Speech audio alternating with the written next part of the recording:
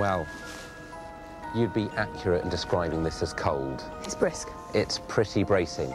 In spite of the cold, people come to Iceland to experience the aggressive and stunning landscapes. And while you can do this via dog sled or snowmobile, most choose a bus tour.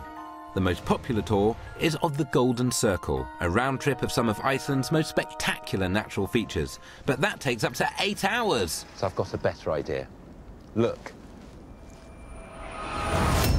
For a mere 10 times the price of a sluggish coach, we jointly commend you to charter a copter.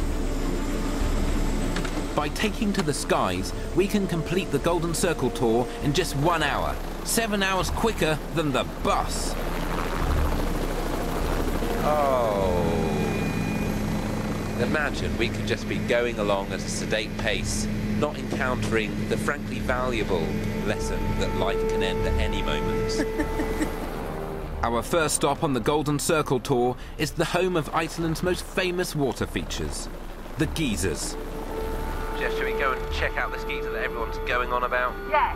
Okay, let's vacate the copter. These geysers are liquidy illustrations of Iceland's active landscape and have been spewing out magma heated water here for 10,000 years. We're here, Jess, at the biggest geyser in Iceland. At the diamond geyser. The Ray Winstone, if you will, of Iceland. Wow, I better get my camera out. Well, I don't think it's going to go off anytime soon. It oh. last erupted 70 foot high in the air in 2000 when D:Ream were at their height. Things can only get better. Yeah. Well, they didn't. No. Unfortunately, they got a lot worse. We did get Brian Cox out of it, so swings and roundabouts. Mm-hmm. I'm going to take you to the second biggest geyser, the Danny Dyer, if you will, and that erupts every three minutes, much like Danny Dyer. Only joking, he's just an actor. He, he, he he's, he's not like that. He's in control.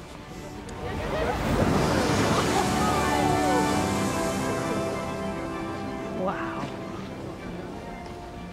That's Strokkur for you, Strokkur. regular as you like. I imagine that um, you'll be wanting to document this with a picture of yourself, with that in the background. That's what you. Well, the memory of it's certainly not going to be enough. It's not sufficient. We No must way. document it. I'm going to gift you now Yeah. the M Pod.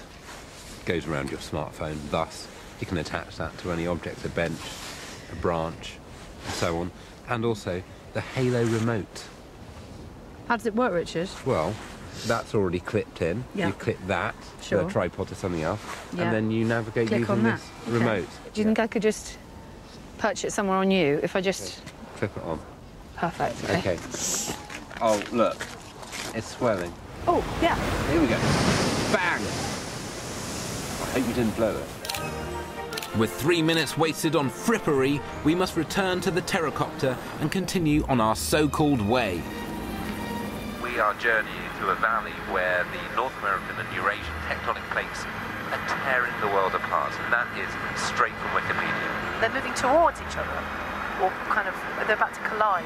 All I remember is that in geography, that's where you did extra special shading.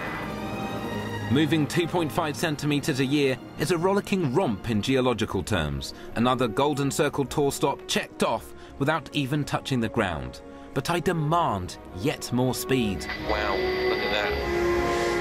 That's a whole heap of falling water. We are ending the Golden Circle tour here at Gullfoss, a waterfall with a 32 metre drop over its two steps, fed by Iceland's second biggest glacier. This seems a steep descent. This seems too steep. Well, here we are. What a view. It's pretty good. Yeah. Look at those saps on the other side, all in a big line, uh, ostensibly closer to it.